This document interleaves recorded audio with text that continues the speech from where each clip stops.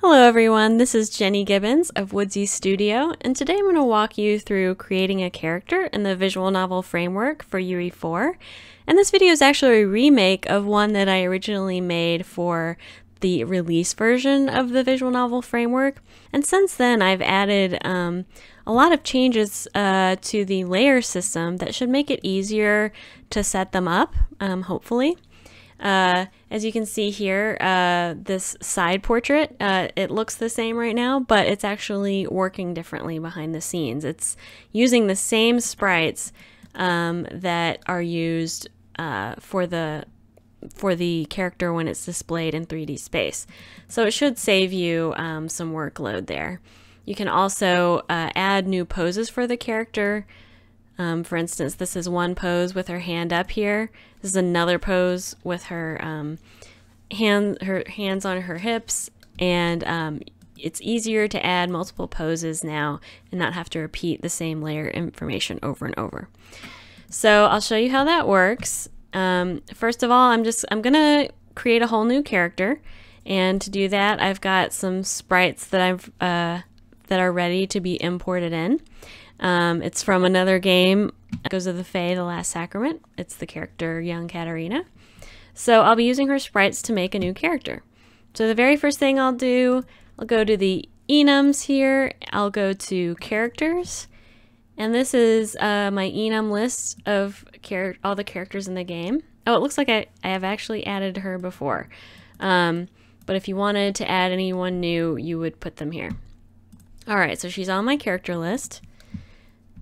Now there's another character list. It's a data table containing um, a lot of detailed information for all the characters in the game.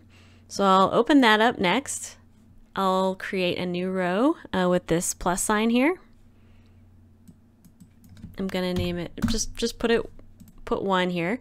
Um, these indexes can be used to track costumes um, in the global BP eventually. So if you plan on using costumes, um, try to rank your characters from like most important or most likely to have a costume change um, to least. Uh, in the global BP here, there's an array that can be used to hold uh, costume variables. Just show you that real quick. It's the costume array. So character zero is zero in the costume array in the global BP. So just so you know, uh, this number is important um, for costumes if you plan to use that. All right, so for character, I'll select Katarina from the enum list. Character actor, you can usually you just leave it blank. Uh, parent actor is going to be the default. That's what it'll use if you just leave it blank. Uh, but if you ever wanted to make a child of the parent actor and have exceptions for this character, you could um, tell it to spawn that child actor here uh, instead of the parent actor. And then we're going to be uh, putting in expression and pose data tables, but we don't have those set up yet. So for now, I'm just leaving it with this. There are all these other things we can adjust here if we want. But for now, I've just created a, a row for her. So next, let's import her sprites. Go to Art Assets, Characters. I'm going to make a new folder for her call it Katarina. And I'm gonna break the folders here into the different poses that I want to use eventually, pose one and pose two. So Katarina mostly uh, has just one pose, except uh, sometimes her head tilts a little bit to the side. So I've selected the sprites for pose one for Katarina, where her head is tilted slightly to the side. So I'm going to drag all of those in here to the pose one folder. There's something else I always do here. I will right click, bulk edit, and set it to uh, the MipGen settings to no mip maps so that those sprites never appear blurry. Okay. Now I'm going to bring in her pose two sprites. Gotta remember one those are. And then the same thing, I will take off maps. All right, now with the textures highlighted, I'm going to right click, go to sprite actions, create sprite. Uh, I just want to note that you can also use extract sprites if you um, want to take out the transparency around your sprites. This is really good to do for um, if you're going to make sprite sheets and that sort of thing. It'll pull separated sprites out for you. Um, and you can certainly use that in the VN framework. But for simplicity now, I'm just going to do create a basic sprite out of all of these. All right, we've got all of her sprites set up here. Also going to do the same thing for pose 2. Make sprites of all these. Create sprite. All right. So now that we have these sprites, we need to actually tell the VN framework to display them when that character is making certain expressions. So to do that, we're going to make first a pose data table and then an expression data table. And just so you know, the structures for those data tables are here in the structure, uh, structures folder. The one that's used to create your pose um, information is called uh, st pose data and all of that's here. You can add padding information for displaying it in widgets if you um, are using sprite sheets and you're cutting out transparency, you want to add that padded information.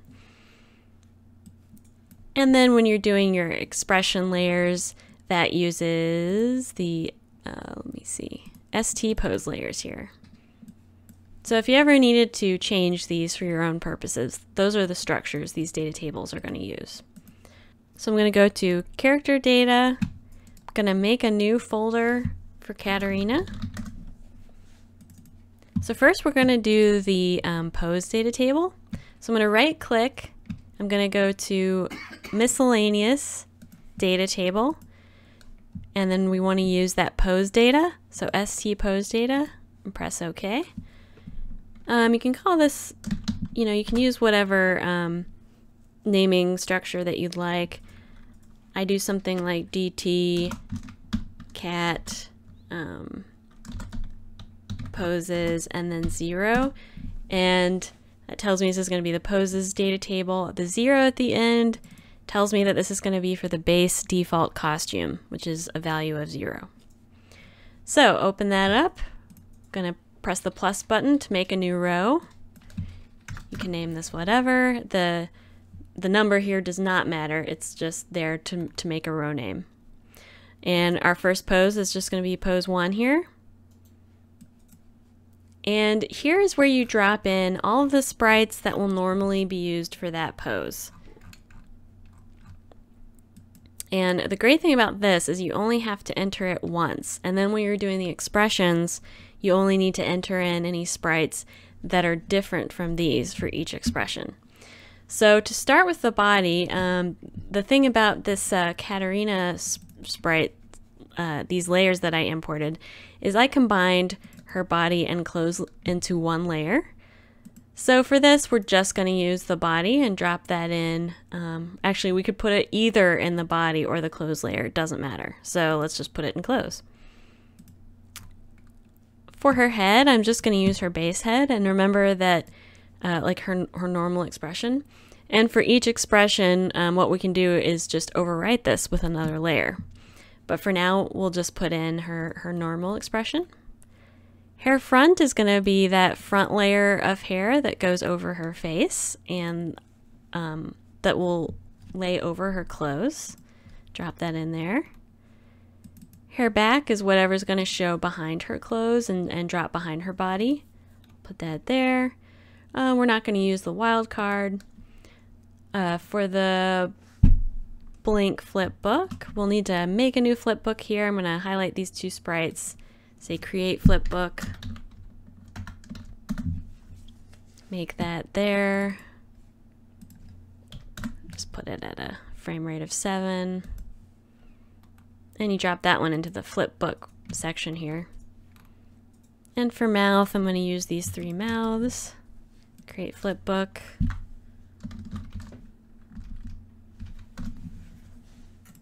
And now we've got her mouth animation. So um, if I were to trim these sprites and take out all the transparency, um, that's when I would go in and enter the appropriate padding. Uh, if you don't do that and you've trimmed your sprites, then they're going to show up pretty wonky in the uh, in the widgets as the side portraits. They'll still look fine in 3D space, but they will look um, strange in widgets because widgets need that information to place them correctly. All right, so we're done setting her pose. And the great thing about that is now um, for when we say each expression, we don't need to repeat that information over and over. So just in this base folder here, I'm going to go right click, blueprints, uh, oh wait, miscellaneous, sorry, and data table. And we're going to do ST pose layers.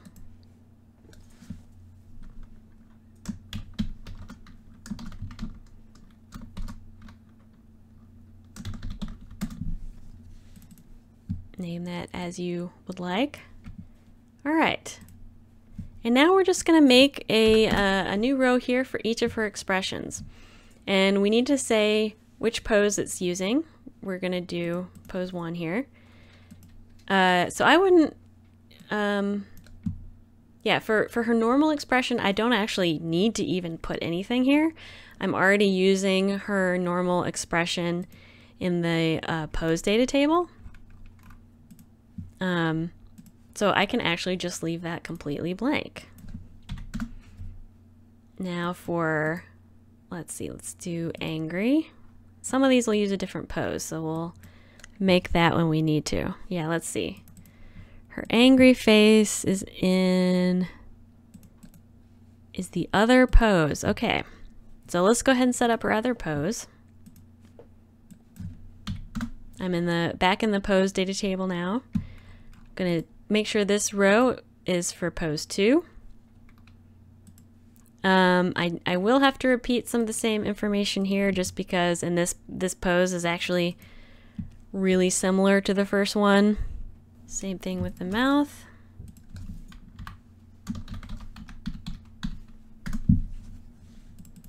Make sure that looks okay. And drop that in for the mouth. So now we've got this other pose setup. All right, so if we go back to the expressions, her the uh, which I just called costume zero. All right, we're gonna set this to pose zero, uh, pose two, because I know that her head tilts um, over when she's uh, doing the angry expression. So I will go ahead and put in her frowning head here. All right, we'll just keep going down for each expression. Sad head.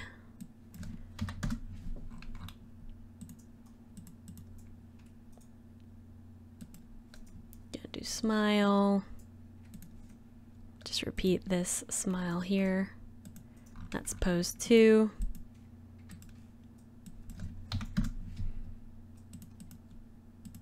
Got surprised.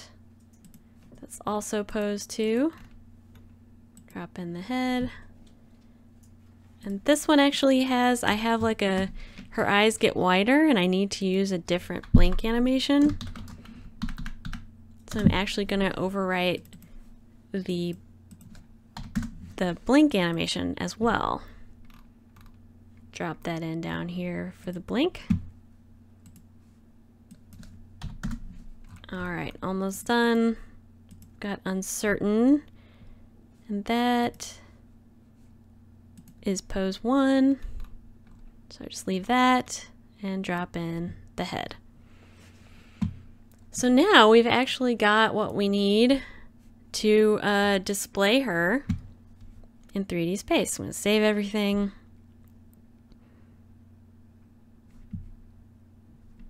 All right, and now that we've got those um, data tables created, we're going to go back to this character DT list um, this is like our master one that you find in the character data folder. And I'm going to drop in uh, poses zero. Hmm, where did I put the other one? I didn't organize this very well. I'm going to put the pose data table here. Then I have to find where I put her. Yeah, my bad. Put that in the wrong folder, so I'm just going to drag that here. Say move here. Fix up redirectors. Okay. There we go. And I'm going to drop that in as the expression DT. All right, so now we've got those set up. Save all. So let's test actually displaying her in the game.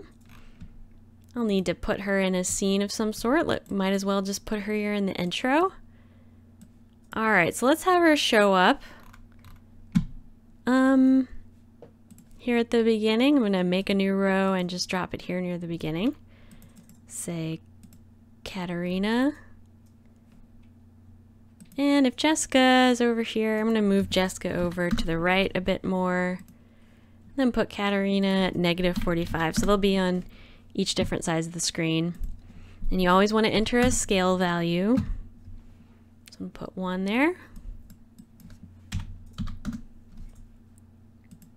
And let's give her something to say. Let's see, let's do smile expression. Say hello. I'm Katarina. Let's have her change expression so we can see each pose.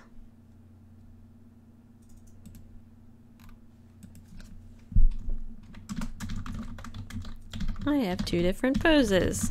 All right. All right, let's see how that looks.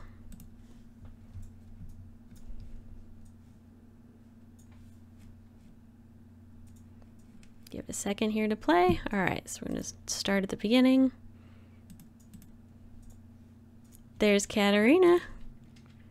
And everything's working. I, I pressed the rollback button there to go back to the other line.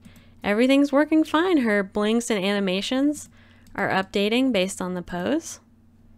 And it all looks good. So I do need to point out something important here. Um, I mentioned earlier that the great one of the great things about this new system is that you can use the same sprites for both a um, widget and uh, for the character that shows up in, in the 3D environment.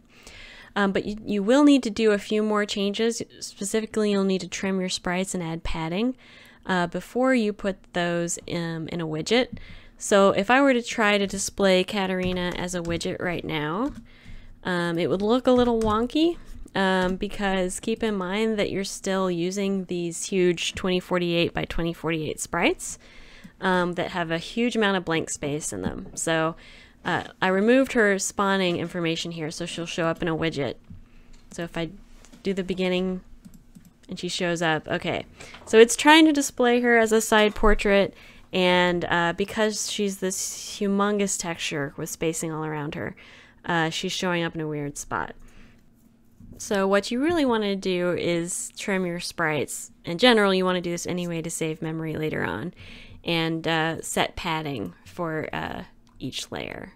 So uh, in one of my next tutorial videos, I will show you how to do that, um, how to make a sprite sheet and set up all the, the padding appropriately. So that sums up the basic character creation for the visual novel framework, and later I'll show you uh, how to trim your sprites and set up padding for them. Uh, thanks for watching, and, and please consider supporting me on Patreon if you enjoy my work and tutorials and are also interested in the games that I make using this code. Thanks so much for watching, and good luck creating!